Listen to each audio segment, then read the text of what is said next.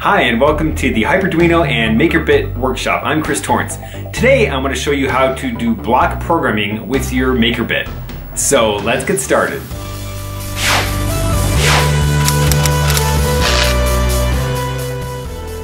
To follow along in today's lessons you'll need a few things. The first thing you'll need is the MakerBit kit.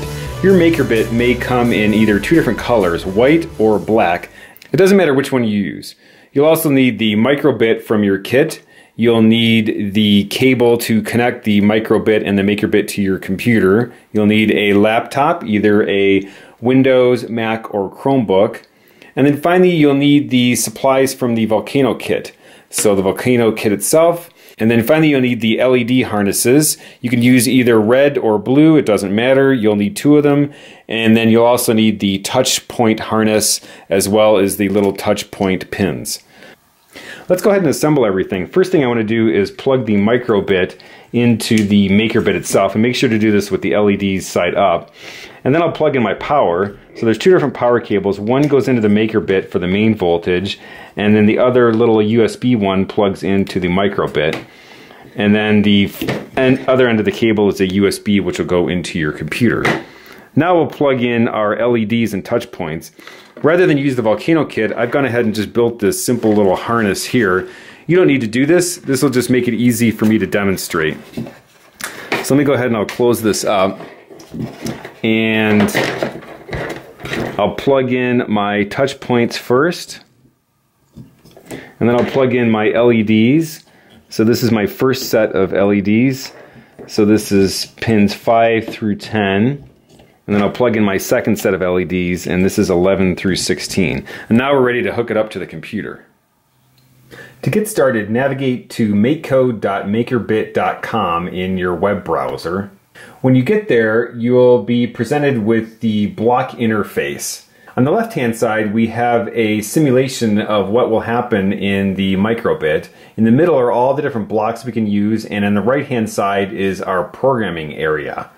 If we take a look at this, we'll already have a program here that's running, which starts up the microbit, draws an image on the screen in the shape of a letter M, and then turns off the microbit's LED display as well as turning off all of the other LED pins. We don't actually need the simulator for this, so we'll just go ahead and we're going to collapse that now. And that'll give us a little bit more room. We're interested primarily in the blocks in the MakerBit section here, which is a custom section that's been added to MakeCode. And if we scroll down in there, there's several different categories, including the ultrasonic sensor, an infrared remote, an LCD display, MP3 player, motors, pins, and then finally touch. Let's go ahead and we'll do a really simple program. What we want to do is we want to make LED 5 over here blink on and off. There's two different places we can put blocks. There's the on start section, which only happens once when the MakerBit is plugged in. And then there's the forever section, and anything in here happens repeatedly. So let's go ahead now, we'll expand the MakerBit block section, go down to pins, and we're gonna drag in this set digital pin 5 to high, and then we're actually gonna want two of those, so we're gonna drag it in again. And we're gonna stick those into the forever block, and we're going to turn on pin 5 or LED 5 to high and then we're going to turn it back to low. So this would be on and then off. However, if we just ran this now, it would just turn on and off so fast that we wouldn't actually be able to see it. So let's go back over to the basic block section here and we're going to put in a pause. And again, we're going to need two of these. So I'll go ahead and drag two in. We'll put one after turning the LED on and another one after turning it off. And we'll set both of them to one second. And you can see that it automatically changed it to 1000 milliseconds because that's equivalent to one second. Let's go ahead and we'll try out our program now. To do that, I'm going to click on the download button. That actually downloaded the file to my computer. If you're on a Chromebook, you can click on the Show in Folder button on the Download Manager and it'll actually take you to where the program was downloaded. If you're on Mac or Windows, you'll have to go to your downloads folder to find the file. So let's do that now. I'm going to click on the Finder here on my Mac, and here's the file that was downloaded, and you can tell it's the correct one because it ends in .hex. On the left-hand side, in your list of drives, you should have one entitled microbit. So if you go ahead and drag the hex file on top of that, that'll automatically load that program onto the MakerBit. And you can see when I do that, all of the LEDs flash as it's loading the program. And now you can see that the LED is blinking just like we wanted.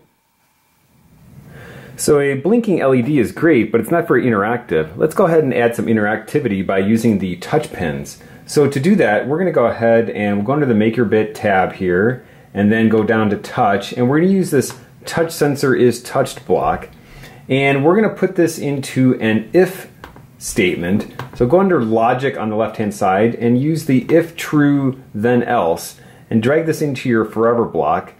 And now we don't want this to always be true. Instead, we're going to put this if touch sensor is touched in there. And we're going to make sure to select pin 5. And let's just quickly change the pause here down to 500 milliseconds just to make it a little bit faster. Now, when the pin is not touched, we want to turn it off. So to do that, I'm going to duplicate this block here and put that in there. So let's go ahead and try this now. So this should say if that touch pin is touched, then go ahead and blink that LED, otherwise turn it off. And let's see what happens. Okay, so the LED is off, and now if I touch it, you can see that it blinks. Okay, now what if I wanted to do these other LEDs like this and have the same thing happen? Well, in our program, we could just take this entire block here and just reproduce it 11 more times, changing the pins, but that would get really long and complicated. Instead, what we're going to use is a for loop, and this says do something a certain amount of times and give me a variable that's equal to that number. So we're going to say for index from 5 to 16 do something. Now, if we just did this here, all it would do is it would keep checking pin 5, but instead we want it to loop through all the pins from 5 to 16. So we actually need to make use of this index variable. And to do that, I can go over here on the left-hand side, click variables, and there's my index variable. And I can go ahead and I can drag that in here, and we want to put that in everywhere that we have an LED 5. And I can just duplicate it just to make it easier. So one more, and then a third one. And then finally, we need to check the touch pins. Now, when you're replacing the touch pin one, be sure to not select the entire block. You only want to select the inner block where it just has the number. So this looks much better. So for index from 5 to 16, if that touch sensor is touched, then go ahead and blink the LED, otherwise turn it off. Let's try out this program. Okay, so the program is all loaded up. So now if we touch this touch sensor, that LED lights up. Then the next one, third, fourth, etc. All right, that's about all we're going to do for today, but think about other things you could do with this program. For example, what if you wanted it to always stay on when you were holding down the touch sensor? Here, if I hold it down, it just blinks because it's just repeatedly checking over and over again. But what if I wanted to just stay on while that touch sensor was touched? Another thing to try is to play around with these durations here and see what happens when you make them longer or shorter and how does that affect how long the light is on versus off. I hope you've enjoyed this tour of block programming with the MakerBit. There's lots of cool projects that you can do. What will you create?